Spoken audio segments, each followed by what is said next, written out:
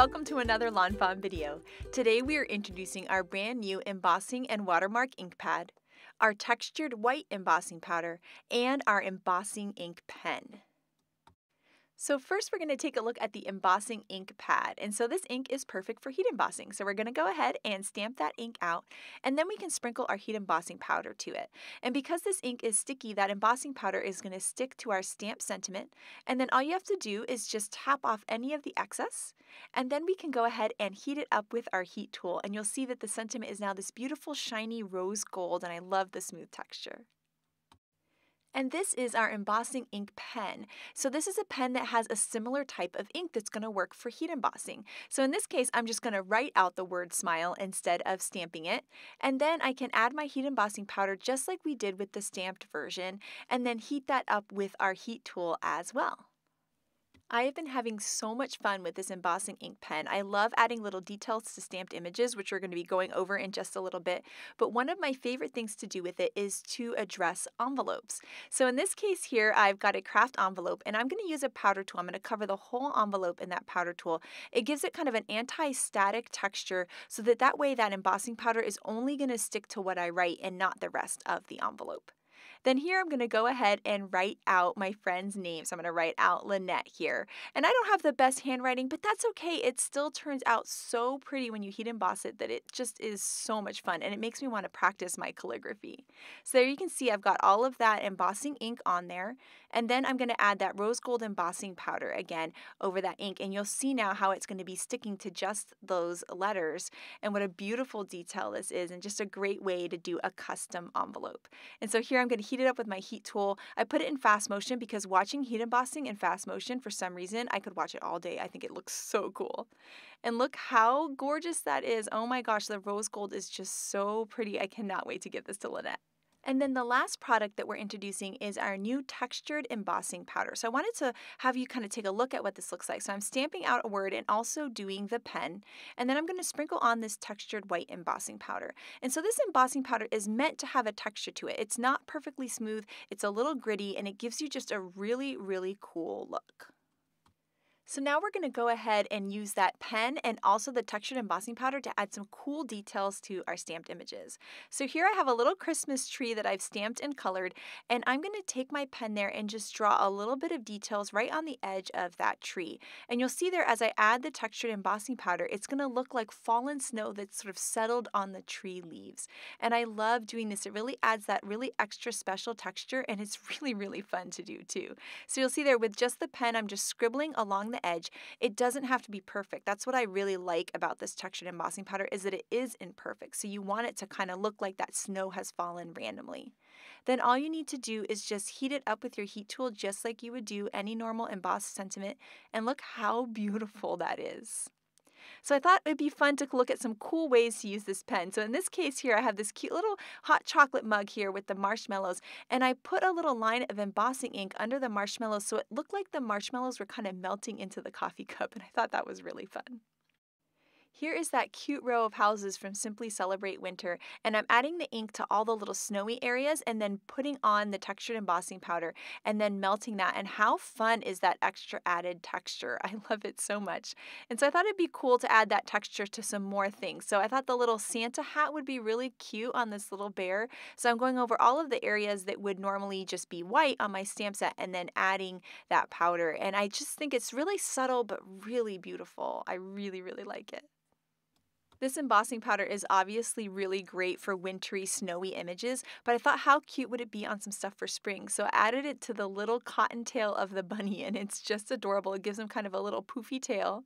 And then it kind of reminded me of the thought of sort of sea spray on an ocean wave. So I'm taking a die cut here, and I'm just tracing the edge of the die cut and then adding the heat embossing powder just like that. And then I'll trace a little bit more and add some more on there. And I think it's really, really cool. It really has this beautiful look to it it. It's just gorgeous.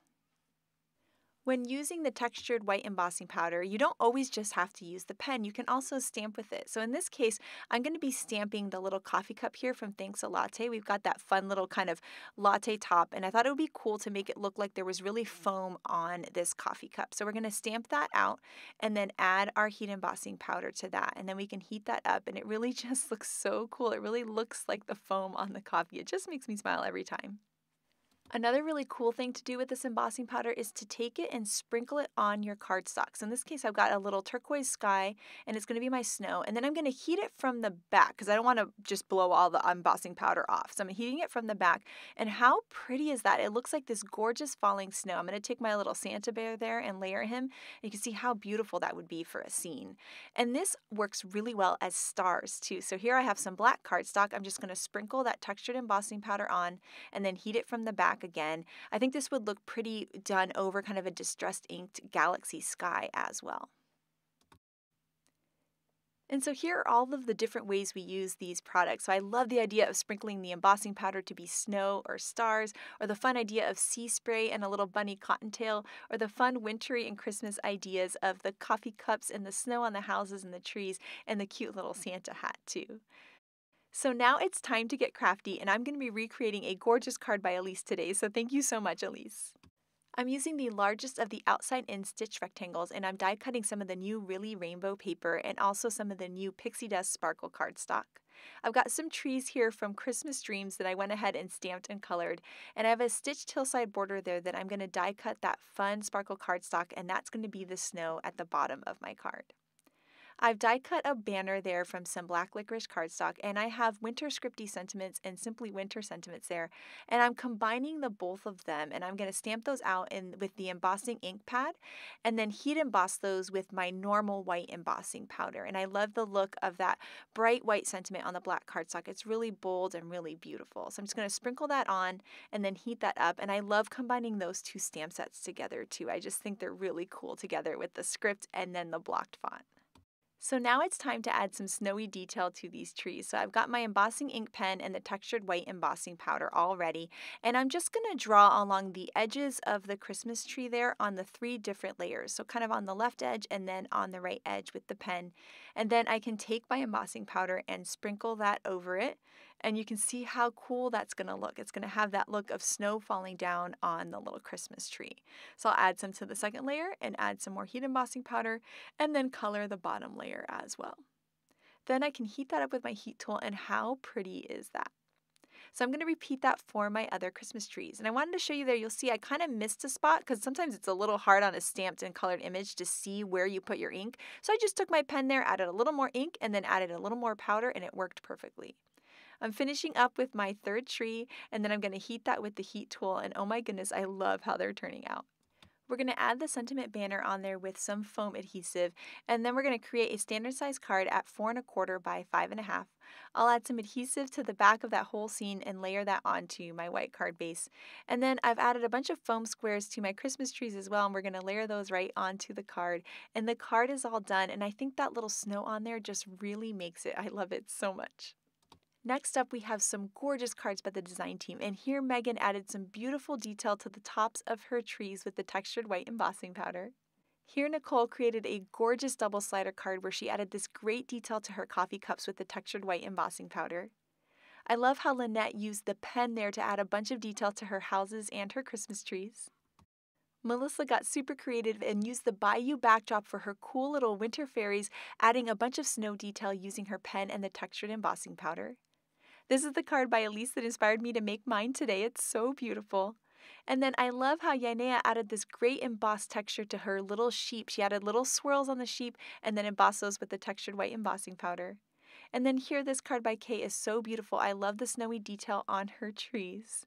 And then I love how Audrey actually covered the entire snowflake in the textured white embossing powder. It really gives a beautiful texture. It's just gorgeous. So I can't wait to see what you guys do with all of this new embossing stuff, so make sure to share it with us. Thank you so much for watching today and have an absolutely amazing day. Bye!